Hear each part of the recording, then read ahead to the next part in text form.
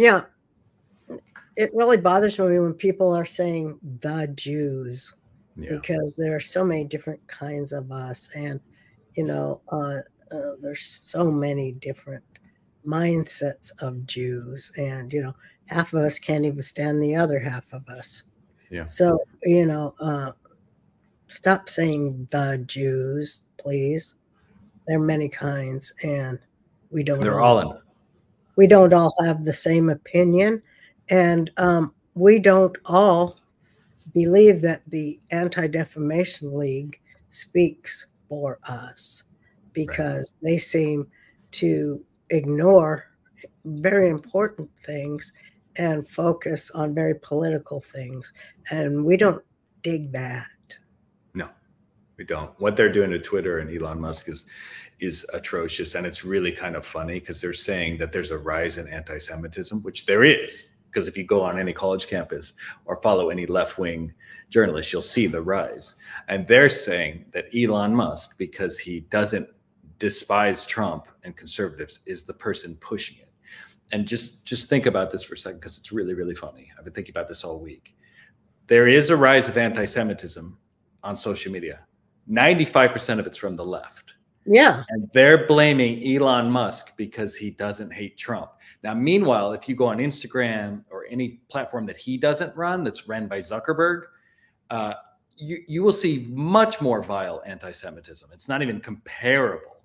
And Mhm. they're going after Twitter. They're going after Elon Musk because it's private owned, because he doesn't collude with the government, and because he's for free speech. So the ADL is actually disgusting because they're going after him under the guise of anti-Semitism, but it's really to crush conservative voices and the truth from getting out. And that's why people hate the ADL. That's why I hate them. They're not. Well, I I think- we need to remember the wise words of Bob Marley uh, chase them crazy bald heads.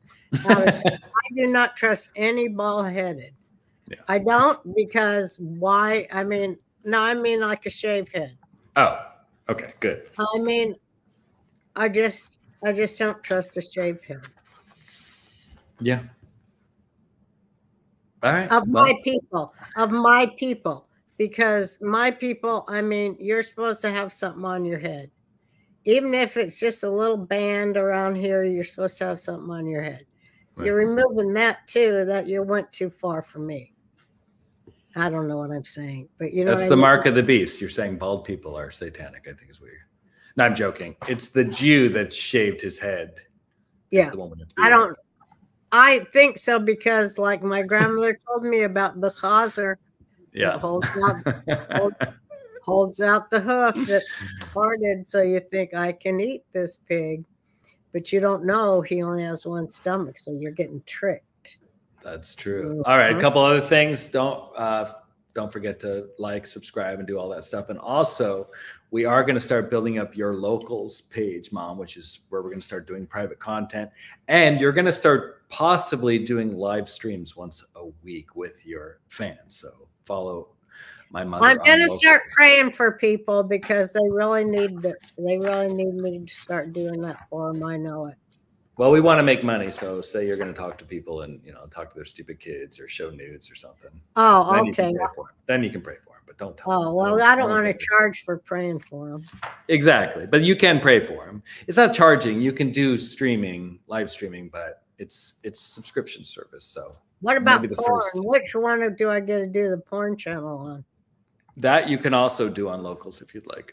Oh, I can't wait. Yeah, I know. A lot of people uh, people say to me every day, "I wish your mother would do porn." If I had a dollar. Really? No, I'm kidding. Quite quite, quite the opposite. Most people tell me, "Tell your hag fucking anti-Semitic mother to shut the fuck up." That's usually what I get.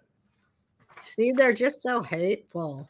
They are. But yet, not one of them, you know, is out here in the No. arena, are they? no, no. But Good yours point. truly is in the arena, bitches. So kiss my fucking ass. I'll do what the Lord puts it in me to do and say, not you. I love it. All right. Well, let me read this ad. You can uh, leave your computer open. Say goodbye to everybody, and then and then thank you for doing the show. Sick. I know it wasn't easy for you. Um, you know, uh, of course, I, I also want to say, of course, you don't want to hurt anyone's feelings, but, you know,